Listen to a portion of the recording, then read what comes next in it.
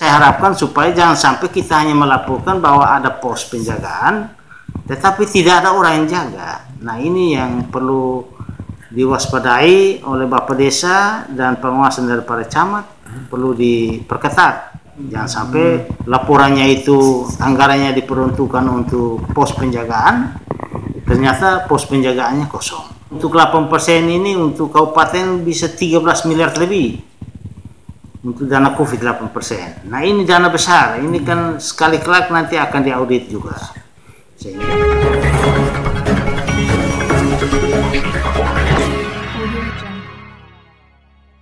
Pemirsa yang budiman di mana saja Anda berada, terima kasih telah mengunjungi channel Suara Fakta Hukum. Jangan lupa like, subscribe, dan komentar. Pencairan dana desa di Kabupaten Kupang untuk tahap 1 dan tahap 2 hingga saat ini telah mencapai 51,35 persen, termasuk anggaran 8 persen untuk penanganan masalah COVID-19. Tahun 2021, pemerintah mengucurkan anggaran sebesar 160 miliar lebih untuk 160 desa yang ada di Kabupaten Kupang. Seperti apa penyaluran dana desa di Kabupaten Kupang? Selengkapnya simak penjelasan Charles Pani, Kadis PMD berikut ini.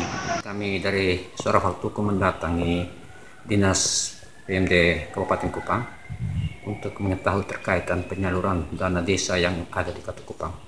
Boleh tahu bahwa hingga saat ini realisasi dana desa di Kabupaten Kupang sejauh mana atau seperti apa saat ini? Baik, jadi terima kasih. Uh, teman dari Suara Faktor Hukum yang sudah hadir di depan saya, terima kasih. Jadi untuk dana desa tahun 2021 di Kabupaten Kupang ada 160 desa. Dari 160 desa itu ada dana desa yang diluncurkan untuk Kabupaten Kupang 165 miliar lebih. Nah, sampai dengan saat sekarang ini dana desa itu sudah dicairkan 51,35 persen baik tahap satu maupun sudah masuk pada tahap dua sehingga untuk dana 8 persen itu sudah uh, 159 desa yang sudah dicairkan untuk penanganan COVID di tingkat desa sedangkan untuk BLT BLT itu sudah 159 desa yang sudah tersalur di rekening mereka itu untuk 9 bulan. 9 bulan. Sehingga semua prosentase ada itu dari keseluruhan itu sudah mencapai 51,35 persen. Saya lihat di kurvanya itu dari KPPN itu kita Kabupaten Kupang itu sudah putih. Yang masih merah itu adalah TTS ya ya bersyukurlah kita ke depan ini gencar-gencar untuk mencairkan terus sampai pada akhir daripada uh, pencairan dana desa untuk Kabupaten Kupang. Memang dalam pencairan ini agak sedikit kendala, mengalami kendala. Dari awalnya itu memang kita Kabupaten Kupang paling terkebelakang. Nomor tiga yang paling terkebelakang. Tapi dengan adanya dorongan dan motivasi baik dari Bapak Bupati, Bapak Wakil Bupati maupun anggota Dewan tingkat Kabupaten Kupang dan juga adanya dorongan dari provinsi sehingga memberikan semangat kepada kami untuk mendorong terus desa-desa yang ada untuk mempercepat pencairan. Sehingga pada akhirnya bisa pada bulan sekarang ini sudah mencapai 51,35 persen. Itu sudah masuk pada tahap kedua. Nah, ini kendala-kendala yang kita hadapi adalah yang pertama itu dengan adanya kondisi seroja sehingga desa-desa itu lebih fokus pada pendataan tentang kerusakan di desa, perbaikan rumah-rumah masyarakat, dan lain sebagainya sehingga mereka sibuk. Kendala yang kedua adalah dengan adanya peningkatan COVID di tingkat kota terpengaruh terhadap desa-desa untuk menurun. Mereka datang mengurus dokumennya di tingkat kabupaten. Nah, kendala yang berikut adalah diakibatkan adanya benturan sedikit ya tidak terlalu banyak lah benturan sedikit antara kepala desa dan BPD di dalam pertanggungjawaban laporan pertanggungjawaban tahap 2 tahun 2020 sehingga itu menghambat di dalam pensiunan APBDes dan lain sebagainya. Kendala yang berikut adalah ada desa yang sakit karena COVID. Ya, isolasi mandiri sehingga mereka tidak bisa bergerak. Ya, ada desa yang sampai kepala desa dan perangkatnya sampai 2-3 orang yang terkena COVID sehingga mereka mengalami kendala untuk proses itu. Tapi pada akhirnya hampir semua desa yang ada di Kabupaten Kupang sudah bisa mencairkan, terutama dana BLT-nya. Mereka sudah bagikan, ada yang sampai bulan ke-8, ada yang dalam waktu satu dua hari ini, dalam minggu ini, mereka sudah mencairkan sampai bulan ke-8. Hingga saat ini berapa desa yang belum mencairkan mereka? Uh, sampai dengan saat sekarang ini ya untuk 159 desa ada satu desa yang belum uh, tersalurkan anggarannya diakibatkan karena dia uh, ditetapkan sebagai tersangka desa bawah mata Desa bawah mata ya. ya jadi desa bawah mata itu dari 160 satu desa itu yang belum tersalurkan anggarannya diakibatkan karena tersandung masalah sehingga kepala desa dan sekre- sekretarisnya dinyatakan tersangka. Nah, tapi sekarang kita sementara berupaya untuk kita menunjuk penjabat untuk sementara dapat bisa uh, mencairkan anggarannya ada. Apa terkait dengan dana COVID 8% ya dia. Ya. Seperti apa pengelolaan hingga saat ini Pak? Di? Jadi di desa-desa itu 8% itu untuk khusus untuk penanganan COVID. Salah satunya itu mereka ada buat portal penjagaan itu. Di samping itu mereka juga melakukan penyemprotan, ya, masker dibeli. Artinya semua kebutuhan yang berkaitan dengan COVID-19, 8% itu yang mengakomodir untuk penanganan COVID di lapangan. Apakah dalam penggunaan dana 8% dari pihak atau dari dinas ini me- melakukan pemantauan terhadap penggunaan dana tersebut? Ah, untuk ah, pemantauan kita tidak memantau, kita hanya berkoordinasi dengan kecamatan.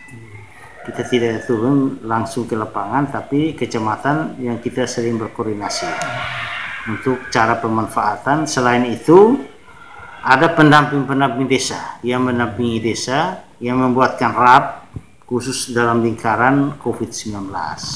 Untuk desa bisa menjadikan itu sebagai dasar untuk pemanfaatan 8%. Hingga saat ini sepengetahuan Bapak penggunaan dana 8% seperti apa?